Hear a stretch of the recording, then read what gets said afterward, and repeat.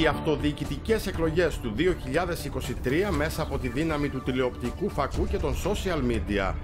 Σε ώρα αιχμής στα παρελειπόμενα των εκλογών, οι ατάκες και οι εικόνες που έγιναν viral, αλλά και η χιουμοριστική διάθεση υποψηφίων και δημοσιογράφων. Όλα όσα δεν έδειξαν οι κάμερες, αλλά και η επικοινωνιακή τακτική των υποψηφίων. Ποιοι και ποιες έκλεψαν την παράσταση της ατάκας, αλλά και ο ρόλος των επικοινωνιακών επιτελείων στην εικόνα των υποψηφίων πολιτικοί αναλυτές, αυτοδιοικητικοί και δημοσιογράφοι σε μια διαφορετική εκπομπή που θα προκαλέσει αίσθηση. Ώρα εχμής. Κάθε Δευτέρα στις 10 παρα 10.